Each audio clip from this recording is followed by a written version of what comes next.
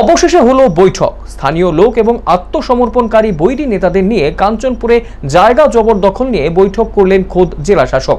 বৈঠকে সিদ্ধান্ত হলো আগামী রবিবারের মধ্যে জবরদখলকারীদের জায়গা মুক্ত করতে হবে।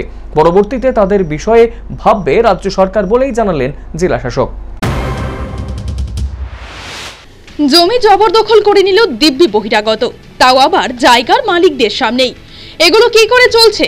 এর বিরুদ্ধে শেষ পর্যন্ত গর্জে উঠল স্থানীয়রা। আত্মসমর্পণকারী বৈরীদের নাম করে কাঞ্চনপুরের মনপুই সড়কের পার্শ্ববর্তী রিজার্ভ ফরেস্ট এবং রেভিনিউ দপ্তরের খাস জমি জবরদখলের অভিযোগ উঠল।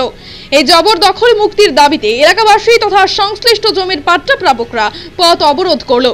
এ নিয়ে পরিস্থিতি উত্তপ্ত কাঞ্চনপুর কালীবাড়ি সংলগ্ন চৌমুনিতে। স্থানীয় বাসিন্দাদের দাবি একটাই বহিরাগতদের জায়গা ছাড়তেই হবে। বিগত দশ বারো দিন যাবৎ আত্মসমর্পণকারী বৈরীরা জায়গাগুলো দখল করে অস্থায়ীভাবে ঘর পর্যন্ত বানিয়ে ফেলল। পরিস্থিতি সামাল দিতে অবশেষে বুধবার এক জরুরি বৈঠক করলেন জেলা শাসক। বৈঠকে উপস্থিত ছিলেন প্রাক্তন মন্ত্রী প্রেমকুমার রিয়াং, এমডিসি শৈলেন্দ্রনাথ, সমাজসেবী গৌতম চন্দ্র রায়, আত্মসমর্পণকারী বৈরী গোষ্ঠীর সভাপতি, সচিব সহ স্থানীয় লোকেরা।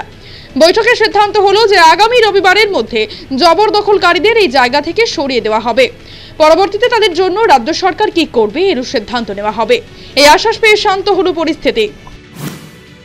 আমরা পাতার জায়গার উপর, বাইরের থেকে ইয়া জোর জবরদস্তিভাবে দখল করিয়া আমরা জায়গার উপরে বইয়া আছে, তারা ঘর বানিয়ে বানিয়ে বানিয়ে আছে। আমরা জায়গার উপর তারা জোর জবরদস্তিভাবে দখল করিয়া মানে বইয়া আছে। এখন তো আমরা তো চলাফেরা করতে মানে কষ্ট হয়েছে এখন তো আমরা দিয়ে কাছে কমপ্লেন দিয়া আজকে দিয়ে পাইছে ডিএম স্যার কথা দিছে আগামী রবিবারের মধ্যে তাদেরকে আস্তে আস্তে করে এখান থেকে মানে সরাই লইয়া যাইব। যদি না সরায় আপনারা কি যদি না সরাই আমরা আবার বৃহত্তর আন্দোলন করব।